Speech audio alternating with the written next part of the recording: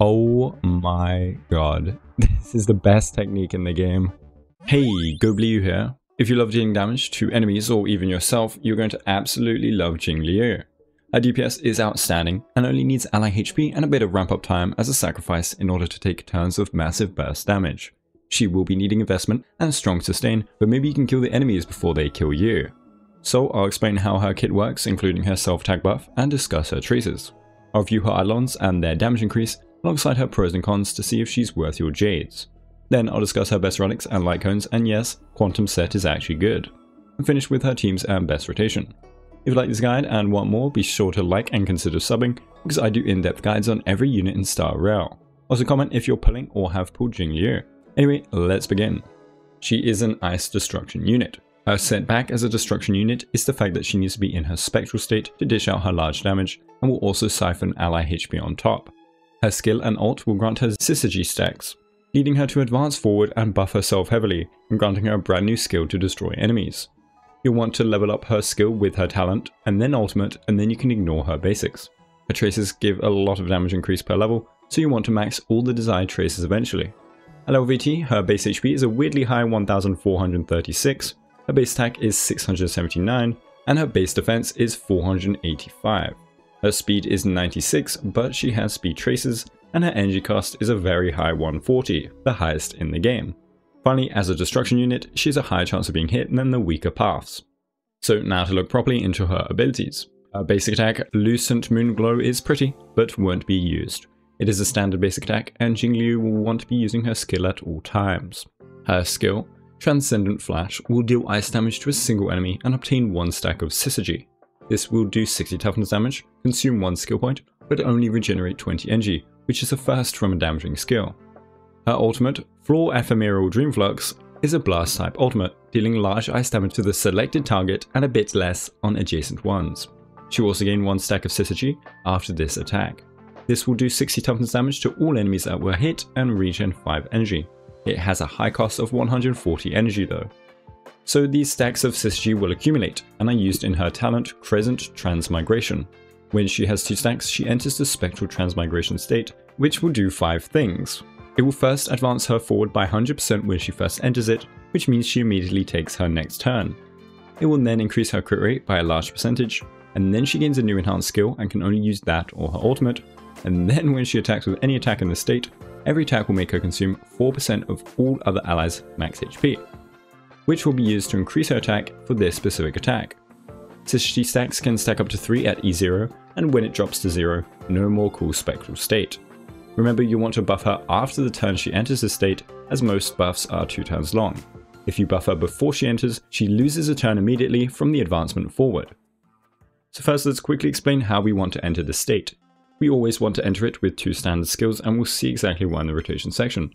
But basically, if we use our ultimate to enter the state, we lose a potential turn of our Spectral Transmigration state. We also lose a lot of damage on our ultimate, which is about 4 to 6 times stronger when used in the Spectral state. And we lose energy which will ruin our rotation. Ult is the only way to extend the state during the state itself, since we replace our ult skill, so we want to use ultimate during the spectral state. Next, let's explain this attack percent buff. She consumes 4% of other allies' max HP, and she will give herself an attack percent buff that is equal to 540% of this HP consumption, up to a cap of 180% of her base attack at level 10. It sounds like a lot, but it's not that difficult. So basically the ideal buff is an 180% attack buff at max, which is insanely strong to have by the way. If we consider her signature at 582 base attack, and her level 80 base attack of 679, she has 1261 base attack.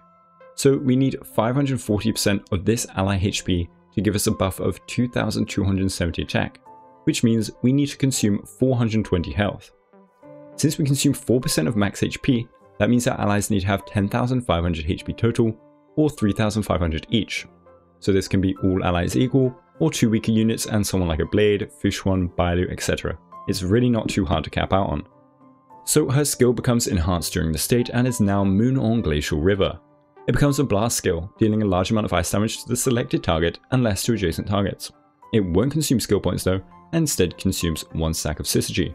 This skill will deal 60 toughness damage to the main target, 30 on adjacent, and regen 30 energy instead of 20 like the standard skill. Finally, her technique, Shine of Truth, is a dimension technique and is our third so far. But it is extremely unique since it moves around you unlike Waltz and Himeko's. It will create a dimension around you, even after swapping characters, and any enemy inside will become frozen, which will also break any destructibles, meaning you can do stuff like this. When entering combat with the dimension, you'll gain 15 energy and a stack of Syzygy, and have a 100% base chance to freeze enemy targets for one turn, meaning they take some damage on their turn. And this freeze will happen for every wave, but not the energy or Syzygy stack. Don't build effect hero for this by the way.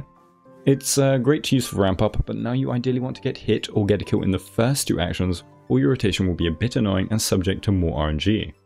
As for traces, they aren't too special, but the stat bonuses are. Her first will grant her 35% effect resistance when she's in her spectral state. This gives her an 86% chance of being debuffed if the enemy has a 100% base chance debuff. It's okay and can come in clutch, but will be very good in the future if we get effect resistance buffers. A second grants her a 10% action advancement when using her standard skill. So it lets you get to your next skill a bit quicker, nice for ramping up, but is useless if you're using Bronya. A final one will grant her 20% ultimate damage when in her spectral state. Another reason to use her ult during this state. Her trace stat bonuses however are crit damage, speed and HP percent in that order. So we have our first crit damage primary trace bonus, meaning she gets a whopping 37.3% crit damage instead of 24% like Zila. We also have our first speed trace bonus, giving her 9 speed at max. And then we have 10% HP, which is whatever, and is there to avoid giving her 3 godly traces. Now onto Eidolons, and let's check out how much damage increase they provide. Her E1 will grant her 24% crit damage when using her ultimate or enhanced skill. That's great. But then it will give them a 100% multiply value increase if the attack hits only a single target. This sounds weird, but basically it means your skill, that is supposed to do 250% to the single selected target, will now do 350% if the target is alone. The ultimate will go from 300% to 400%. Very big increase and a 44% DPS increase if you're always against one enemy, which won't ever happen, so watch out when you see this big number. In full AoE, it's about a 7% increase, so for the true increase, it's somewhere in between 7% and 44%. Her E2 makes her first enhanced skill after an ultimate have an 80% damage boost. Damage percent is lovely, and we get a 9% DPS increase overall. Her E3 boosts her ultimate damage and increases her attack cap, now needing more HP but giving more attack for a 6% DPS increase. Her E4 will increase this cap again by 30% of her base attack, now letting her buff herself by 228% attack, which is pretty ridiculous for a DPS. And now we get 7% more DPS overall. Her E5 will buff her skill for a 5% DPS increase, and finally her E6 will let her obtain another stack of Syzygy when entering the spectral state, so she will have 3 when she first enters, and the cap now increases to 4. This means you can have 3 enhanced skills every state, or 4 if you use your ultimate correctly, if you use Tingyun or get kills, you can get even more, it's pretty insane. This is a 17% DPS increase, but my rotation hurt it a little bit, so according to Grimro, it's a 21% DPS increase. So for Eidolons, I'd suggest going for E1 or E6. In between, they're all just nice, but nothing special. So now, what are the best relics she can use? Well, my Quantum Set Jingliu angered some people, but the maths is now here to back it up. First of all, you can go 4 Ice, 2 Musk 2 Ice, 2 Hacker 2 Ice, or 4 Quantum, and Jingliu will still be shredding enemies. When I talk about a set being best, it's by like 1 to 4% unless you have ideal conditions, and you should only care if min-maxing. So for the least amount of farming, go 2 Musk 2 Ice, but now onto the two best sets, 4 Ice and 4 Quantum. So the thing with 4 Ice is it loses value because of crit damage and damage percent buffs, which you can get a lot of, and since she will focus on stacking crit damage with her crit rate buffs, it will be saturated even more so. Then you include stuff like Bronya, Broken Keel, etc. It still is basically her best, but let's see when Quantum is better. Quantum Set's Defense Ignore doesn't care about saturation. You'll be stacking tons of crit damage, damage percent, attack percent, etc. through her Light Cone, through Harmony units, through relics, through substats and main stats. But Def Shred and Def Ignore are all separate to these and actually increase in strength the more you have of it, up to a cap of 100% Def Shred. So versus any quantum weak enemy, signature or not, this 20% def ignore is more potent than the benefit of full ice.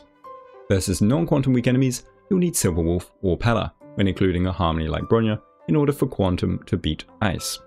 Here is a flowchart I made explaining all of the different options. So basically just farm only Musketeer like Grimro does and you won't have to worry about minimal damage increases. but seriously go whatever you have farmed, they are all similar in power. For planar ornaments, Rutilant is her best and the other two are a slight DPS loss, but still usable of course. Remember, Rutilant will be activated during her spectral state, as it will buff her crit rate to above the 70% threshold. For main stats you want to go crit damage chest, speed boots, ice damage orb, and attack rope. You can go crit rate chest if you somehow can't hit this 50% crit rate threshold, but remember to keep a good crit ratio if you do that. Attack boots are only really usable with a very fast Bronya where you'd skill spam to bring Jingliu up to her high speed. Attack percent orb is going to be a massive DPS loss on Jingliu, and finally energy rope is not needed and is thus a DPS loss. For an endgame ideal stat range, you want to get at least 2.5k attack, a 50 to 200 crit ratio, and 134 speed. So focus on getting your crit to 50, then crit damage and attack. With her speed traces and speed boots, you only need two speed substats. Now onto Light Cones. Her signature is by far her best in slot. It gives her crit damage, which is nice, but then gives damage percent and def ignore, which ignore her oversaturated attack percent buffs unlike most other destruction Light Cones. The way it works is if any ally other than the wearer loses HP or gets attacked, you'll gain a damage percent stack, up to 3, and at 3 stacks, your next attack will ignore a percentage of the enemy's defense.